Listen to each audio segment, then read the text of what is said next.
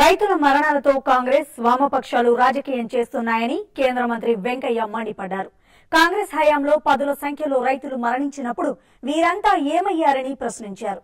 విశాఖలోని పోర్ట్ కళావాహిని స్టేడియంలో జరిగిన వికాస్ సమ్మేళన్కు వెంకయ్య హాజరయ్యారు. దేశంలో గతంలో ఎప్పుడూ జరగనంత అభివృద్ధి ఈ మూడేళ్ళలో జరిగిందన్నారు. మధ్యప్రదేశ్లో కాల్పులపై విపక్షాలు రాద్ధాంతం చేస్తున్నాయన్నారు. దిగ్విజయ్ సింగ్ హయాంలో పోలీసు కాల్పుల్లో ఇరవై ఒక్క మంది రైతులు చనిపోతే సోనియా రాహుల్ వామపక్షాలు నోరు మెదపలేదన్నారు. ఈరోజు ఏంటి ఉత్సవం? మూడేళ్ళు పూర్తయింది. మోడీ గారు ఏం చెప్పారంటే పెద్ద హడావుడి చేసి ఉత్సవాలు చేసి సన్మానాలు కాకుండా మంత్రులు అందరూ డెబ్బై ఐదు మంది మంత్రులు ఉన్నాం మేము. మంత్రులు ముఖ్యమంత్రులు అందరూ దేశంలో అన్ని ప్రాంతాలకు వెళ్ళి మనం ఏం చేశాము ఈ మూడేళ్ళలో అనేది ప్రజలకు ఒక నివేదిక ఇవ్వండి. దానిలో భాగంగానే ఇవాళ మీ ముందుకు రావడం జరిగింది. దానికి ఒక థీమ్ ఇతివృత్తాన్ని ఎంచుకున్నాం మనం. ఏందయ్యా ఇతివృత్తం అంటే సబ్కా సాత్ సబ్కా వికాస్ సమ్మేళన్. సబ్కా సాత్ అంటే అందరితో కలిసి. సబ్కా వికాస్ అంటే అందరికీ అభివృద్ధి. అందుకని మోడీ గారు ఏం చెప్పారంటే ఒకటి పేదరిక నిర్మూలన. దేశంలో పేదరికం ఉండకూడదు. దానికోసం కార్యక్రమం. రెండవది ఆర్థిక అసమానత తగ్గింపు.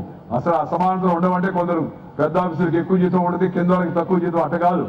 ఆ కృత్రిమం అంటే ఆర్థిక అసమానతలు ఉండకూడదు వాటి వీలైనంత వరకు తగ్గించాలా మూడవది ఆయన చెప్పింది అంటే ఈ అభివృద్ధిలో అందరికీ భాగస్వామ్యం ఉండాలి? నాకు కూడా ఈ అభివృద్ధిలో భాగం ఉంది. ఆ భావన కలపాల. ముఖ్యంగా ఇవాళ కార్యక్రమం అది. నాకు కూడా అభివృద్ధిలో భాగం ఉంది. భారతదేశం నన్ను గుర్తించింది. రాష్ట్రం నన్ను గుర్తించింది. మోడీ గారు నన్ను గుర్తించారు. చంద్రబాబు నాయుడు గారు నన్ను గుర్తించారు. నాకు కూడా మేలు జరిగిందనే భావన వాళ్ళ కలపాలి. అందుకే ప్రధానమంత్రి గారు ఈ పథకాలన్నీ ప్రవేశపెట్టాడు.